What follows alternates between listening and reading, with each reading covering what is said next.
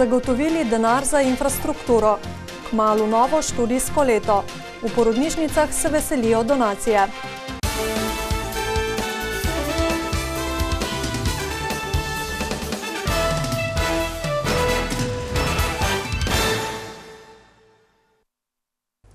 Lepo pozdravljeni. Občina Metlika je uspela zagotoviti finančna sredstva za saniranje, modernizacijo in nadgradnjo gospodarske javne infrastrukture na območju nekdanje Beti Metlika, ki je v začetku 80. let prejšnjega stoletja zaposlovala prek 2000 ljudi. Po propadu nekdanjega tekstilnega velikana je obstal le obrat Preja, ki se še danes uspešno razvija in je z več kot 150 zaposlenimi vodilni evropski proizvajalec barvne poliamidne preje.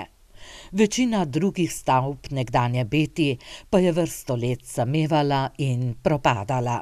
Tam imamo že kar nekaj infrastrukture narejene, vendar je bila narejena tistim časom primerna, kar pomeni, da so bili vodi enotni. Če pa hočemo zdaj to cono usposobiti, moramo zagotavljati možnost manjšim enotam.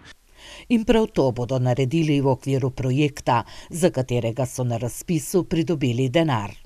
Dobimo pol milijona sredstev iz državnega proračuna in pa evropskega proračuna, razliko dvesto trideset tisoč evrov pa zagotavlja občina Metlika. Informacija, da namerava občina Metlika urediti infrastrukturo, je spodbudila podjetnike, da so pokupili večino stavb oziroma zemljišč. Pogodbe so že podpisane, tako da tudi tukaj so novi lastniki in čakajo, da mi začnemo z našo investicijo v naslednjem letu, sočasno pa bojo oni tudi gradili nove prostore. Namreč ti prostori so bili namensko za tekstilno tovarno, torej so nizki stropi in neprimerni za kakršnokoli dejavnost v današnjem času in večina teh obstoječih prostorov se bo zrušila in postavili novi. Nekaj podjetij pa si že v obstoječih stavbah ureja prostore in posluje v njih. Sicer pa so v Metliki v zadnjih letih veliko vlagali v ureditev poslovnih con. Zelo hitro se prostor polni, namreč cono v Pildu praktično vse smo že odprodali, nekaj se že gradi noter, v naslednjem letu pričakujemo kar nekaj novih gradenj v sami coni Pild. Ravno tako Gradac, investitor je sedaj pridobil gradbeno dovoljenje in bo še v letošnjem letu začel z izgradnjo. Občina Metlika pa v kratkem pričakuje odobritev še enega projekta in z njim kohezijska sredstva za širitev in nadaljnjo ureditev cone pri Pildu ter ureditev navezovalne ceste v industrijski coni Gradac, pravi župan. V Kostanjevici na Krki pa so obnovili ribnik pri osnovni šoli in dokazali, da je delo veliko hitreje opravljeno, če posamezniki združijo moči. In prav to so storili tamkajšnji občinski svetniki.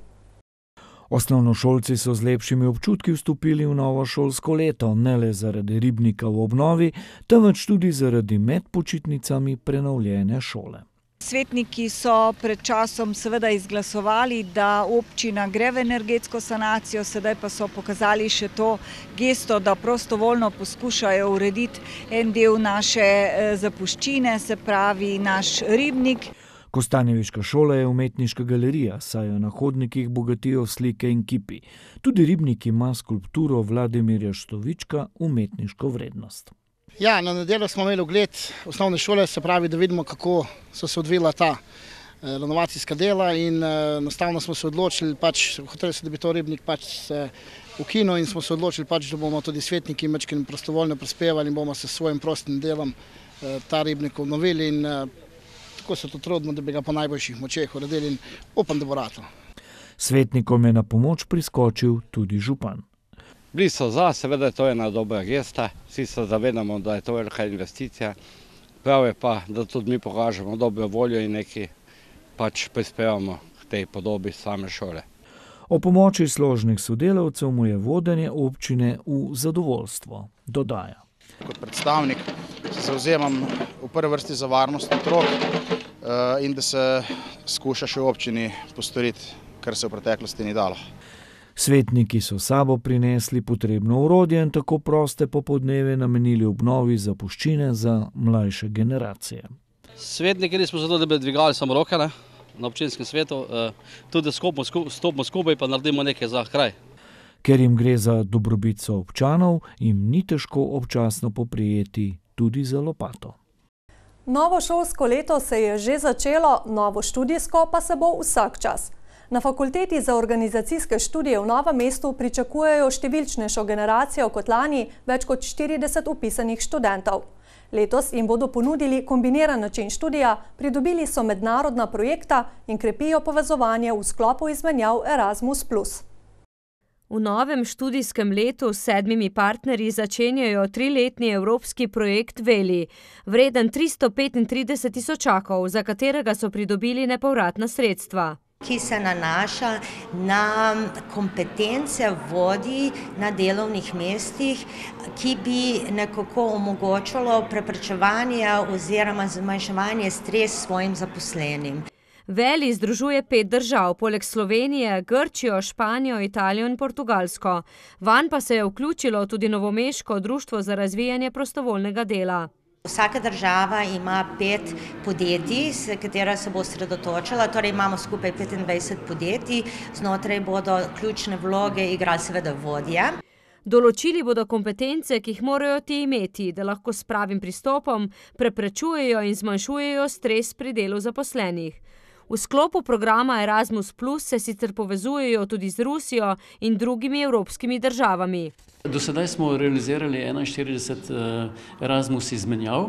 Eh, v lanskem letu, v tem, no, lanskem letu, v letošnjem letu 2019, ki se še ni izteklo, smo pa realizirali teh Erasmus izmenjav 15 in sicer iz naslova študentov eh, dve, iz naslova našega osebja in pa predavateljska investiranega pa 13. Mobilnost v sklopu Erasmusa Plus jim zagotavlja večjo prepoznavnost, študentom in predavateljem pa pridobivanje znanja in izkušenj v tujini. Pomembno je, pravi Bukovec, vzpostaviti partnerska sodelovanja. Predvsem so to fakultete ali neke raziskovalne ustanove eh, ali pa tudi neki zavodi, pri katerimi želimo eno vsebino mogoče, če je smisel nadgraditi v projekt, predvsem pa, da, da iz teh fakultet pridejo njihovi sodelovci k nam, Ta čas tako gostijo predavatelje iz Romunije. V novomeški in brežiški porodnišnici se veselijo nove donacije. Zavarovalnica Triglav je namreč vsem slovenskim porodnišnicam v sklopu osmega teka prek projekta Slojenčki darovala aparate za pomoč novorojenčkom v dihalnih stiskah. 1500 tekačev iz vse Slovenije se je v muhasti soboti pomerilo na Brdu pri Kranju v poslovnem teku trojk, družinskem teku ter v preizkušnjah na 10 in 21 km. Vodil jih je en cilj – pomagati novorojenčkom. Za nekatere tudi zlomljena roka ni bila ovira za tek. Malo sem se spodrsala, pa sem pa ujela na roko, pa se malo zlomila. Pa se kaj uviralo pri teku? Mal, kaj težek malc tekme ga drži. Veliko maratonov sem pretekel, gorskih tekov v Avstriji, 10-12 km, več prvih mest, kot drugih ali pa tretjih. Letošnjo donacijo v višini skoraj 19 tisoč evrov je Triglav namenil za 14 aparatov za pomoč novorojenčkom v dihalnih stiskah. Ta aparat, ki ga imamo zdaj, je že precej star. Um, tako da nam to zelo, zelo veliko pomeni. Uh, in smo veseli, zelo hvaležni Društvu Slovenčki in zavarovalnici Triglav za to donacijo. Nekaj čez 500 novorojenčkov se rodi, od tega v bistvu približno 10%, kot pri v ostalih porodnišnicah, so um, prizadeti oziroma potrebujejo dodatno oskrbo. Za društvo Slovenčki je bila to vrstna donacija enkratno darilo, saj je šlo za edinstven primer sočasne donacije vsem slovenskim porodnišnicam. V porodnišnicah rabimo veliko stvari, od majhnih, drobnih aparatov pa do izjemno pomembnih aparatov. In trudimo se jih sicer dobiti od naših ustanoviteljev, kar pa vedno ne gre. Zdi se nam pomembno, da vračamo. Uh, Da vračamo v družbi, da v bistvu vsak s svojim dejanjem naredi še nekaj dobrega za nekoga drugega. Tekače so vse skozi spodbujali vrhunski slovenski športniki.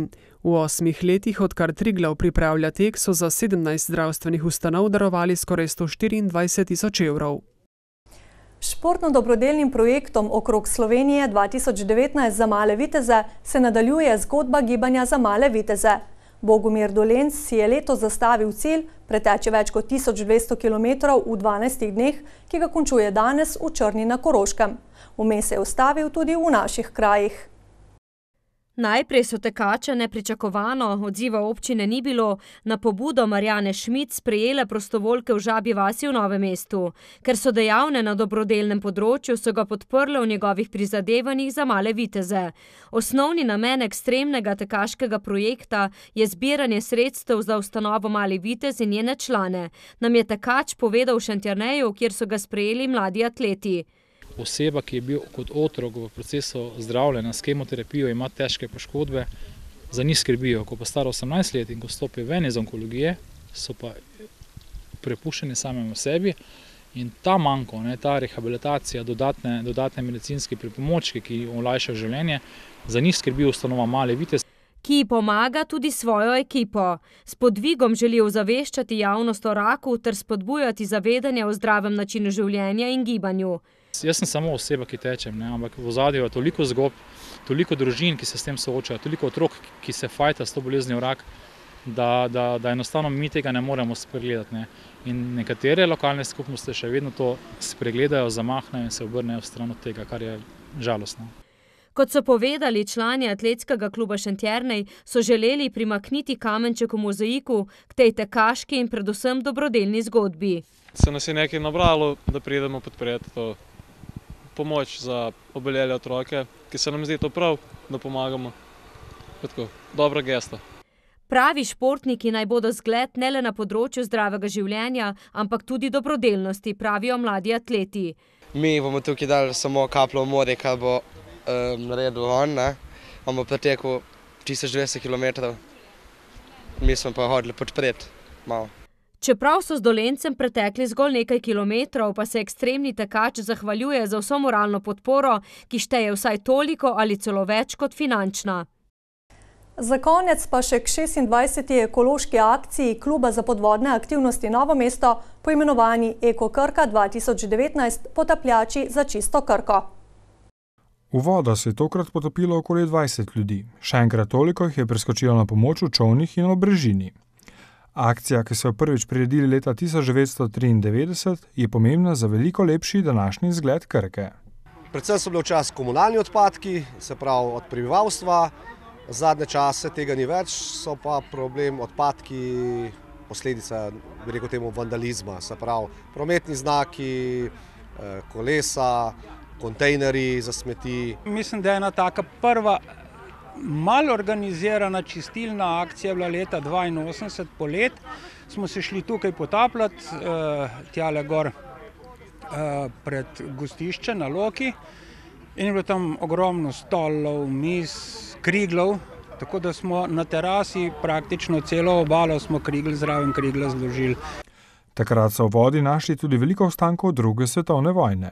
Takrat so partizani zaminirali most in je e, nemška vlakovna kompozicija, so volizili orožje in streljivo, je padlo v vodo, tako da to je bilo 82 leta, vem, da smo na tistem potopu, ko smo krile ven vlekel, tudi še 17 topovskih granat celih zložili, ko skladonca drva.